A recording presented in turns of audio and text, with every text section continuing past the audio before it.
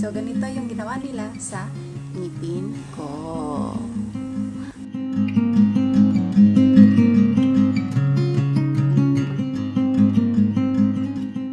Right, mga kabanders, welcome back to my channel.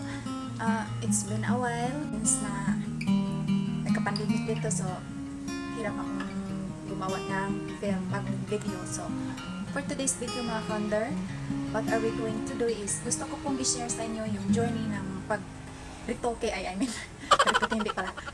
The journey of beautification of my teeth. Uh, you see? You see? Diba? Yung ganito na yung ngipin ko. O, diba?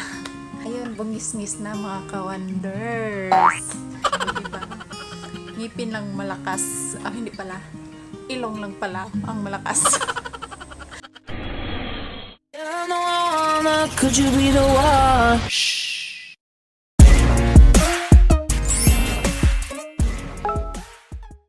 So now, I'll show you kung, pa, kung ano ang ginagawa nila sa ngipin ko na naging ganito na yung ngipin ko. O diba? Kasi po dati yung ngipin ko po ay magkahiwalay or else sinasabi nila na one seat apart ah, yung lalo na yung taas ko maliit yung dalawang hindi yung maliit yung dalawang dita ko yung yung dalawang ngipin ko dito di ba dalawang gitna tapos yung kasunod puro maliliit tapos yung baba ko, may space din. At saka, pinag-ipunan ko po talaga yung pag paayos ng ngipin ko. So, nahiya akong umiti kasi gawa ng sa ngipin ko. Ngayon, bungis-ngis na mga ka-wonders. Ngipin ng malakas. Ah, hindi pala. Ilong lang pala ang malakas. right. Crown jacket po ang ginawa nila sa ngipin ko. Gusto ko po sana yung veneers. I asked the doc I asked the doctor if okay yung veneer sa akin. Sabi ni sabi niya the best for me is a crown jacket. It's, it seems like a veneers because ang presyo na eh, presyo niya o oh, char presyo niya is ang price niya is same as veneer. So I'll go for what the doctor said. Woo! Ang ganda naman ah, di ba? Sa mga nagtatanong kung magkano lahat ng gastos ko sa ngipin ko, ihanda lang po yung mga bulsa nyo.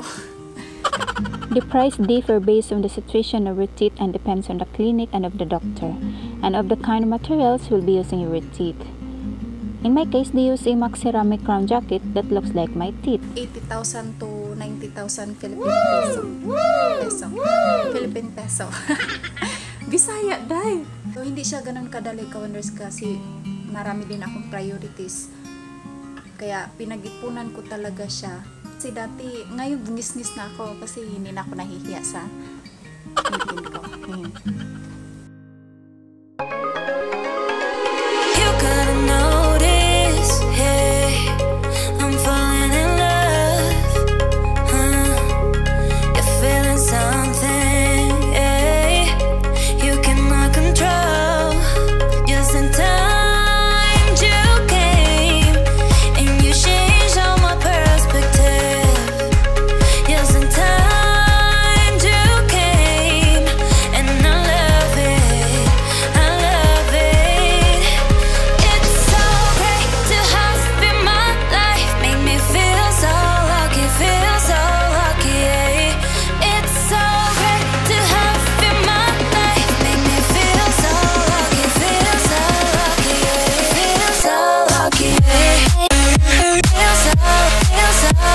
Lucky. yeah.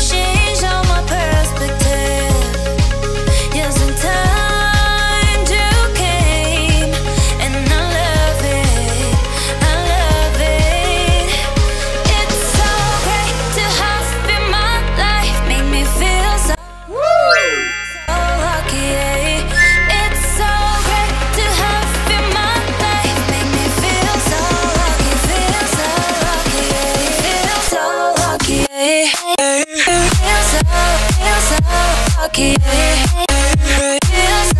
lucky. So. So, so lucky.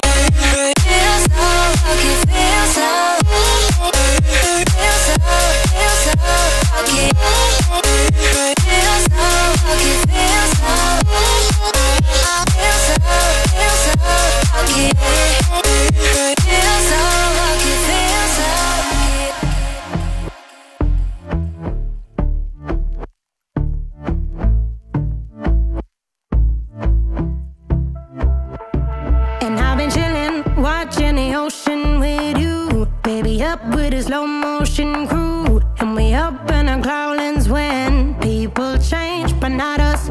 And we just chillin', kicking it, kissed by the sun. Could be soaked to the skin in the mall soon. I know she got the good vibes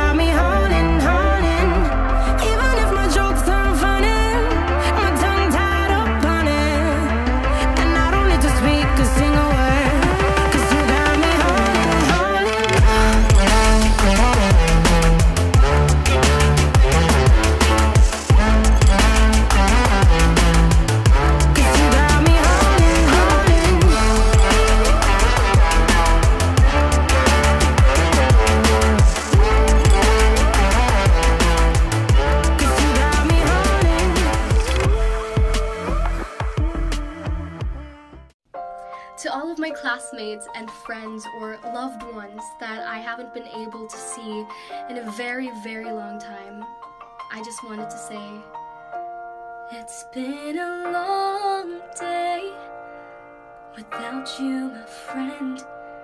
And I'll tell you all about it when I see